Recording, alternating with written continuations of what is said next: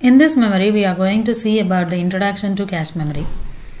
It is completely based upon the principle of locality. Means, programs tend to reuse the data and instructions they have used recently.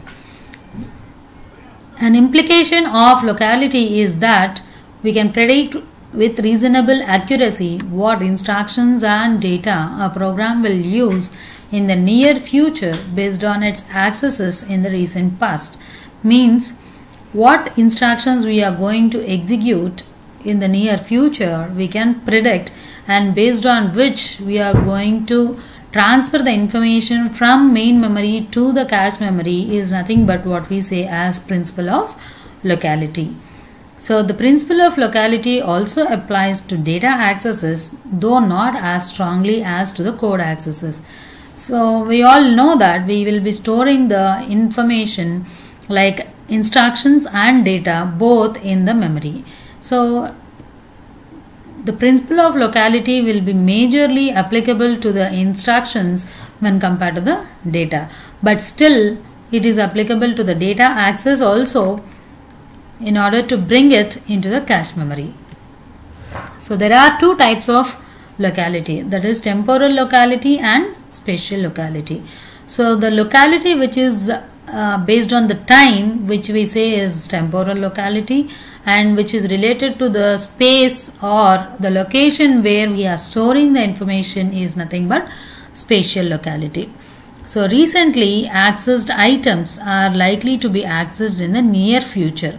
That is suppose if we say like at 10 o'clock if we are using a particular instructions or data and immediately at 10 2 or 10 5 let us say then we are again accessing the same instructions or data then we say that it is based on temporal locality. Spatial locality means suppose if i say like the information at the location of memory address 1000 is accessed then we say immediately in the next few nanoseconds we say that the information in the memory address 1000 1002 will be accessed actually. So that is nothing but based on spatial locality. So when fetching an instruction from memory move its neighbors into cache memory as well. That is its neighbors also suppose if i am uh, accessing the instruction from location 1000 then we will move the complete block from main memory to the cache memory. It is based on the spatial locality. So the organization is like this. Suppose if we say CPU, cache and main memory, there are no levels in the cache memory. So obviously the access time will be less when processor is accessing cache to get the words and it will be more when it is accessing the main memory. So word by word transfer will be there between the cache memory and the CPU but cache memory and the main memory it will be a block transfer.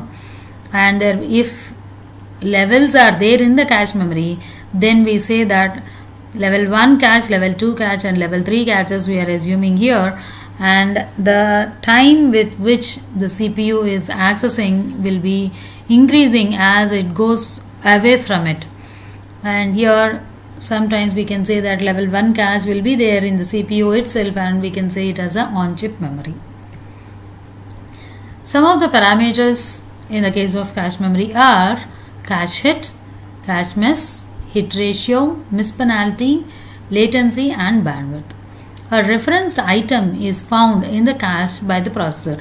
Means when a processor is searching for a particular word, if it is obtained from the cache memory itself then we call it as a cache hit. Actually the processor will not know whether it is searching the cache memory or main memory. So address is put onto the address bus and cache memory will be searched initially. That is the logic is developed such that the cache memory is searched and the data is put onto the data bus by the cache memory actually. So if it is not obtained from the cache memory then the main memory will be searched. So that is nothing but cache miss. That is if a particular information or referenced item is not present in the cache then we call it as a cache miss. So hit ratio is nothing but the number of hits divided by hits plus miss. So we can say as total number of references. So we say that it is ratio of number of hits to total number of references. Miss penalty. It is nothing but the additional cycles required to serve the miss. Means when a reference item is not there in the cache, an additional time is required to search the main memory and bring into the cache and also to the CPU. This additional time is nothing but what we say as miss penalty. Time required for the cache miss depends on both the latency and bandwidth because the transfer of information between the cache and the main memory is in terms of blocks.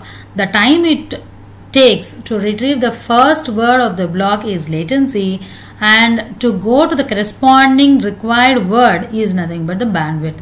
So latency plus bandwidth we will be taking into miss penalty. Cache memory management techniques. They are divided into four different categories that is block placement, block identification, block replacement and update policies. In the case of block placement, we will be having three different things that is direct mapping, set associative, fully associative mapping. In the case of block identification, tag, index, offset need to be identified in order to identify the block.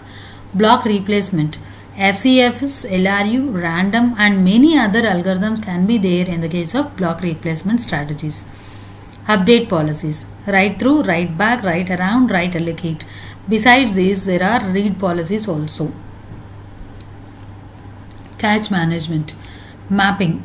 Mapping means here we are having this is nothing but the block placement we can also say as mapping. Mapping is determination of where in the cache the blocks of main memory are to be placed. So when we are transferring the information from the main memory to the cache where we have to locate them that is nothing but mapping process.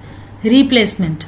Suppose if we say that the cache memory is full when we are bringing a particular block from main memory to the cache memory. So one of the block need to be replaced in the cache memory. So which block need to be replaced will be decided by the replacement algorithms.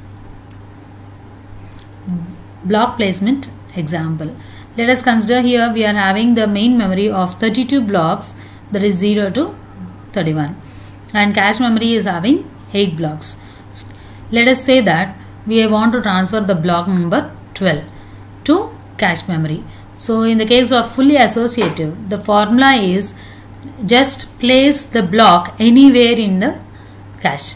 So 8 blocks are there. This 12th block can be placed anywhere in the cache memory. That is, we can place either in block 0, 1, 2 or 3 in till 7 anywhere we can place the block.